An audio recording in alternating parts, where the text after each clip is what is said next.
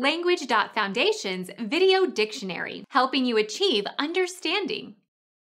Something badly botched or muddled. Ball up, cock up, mess up.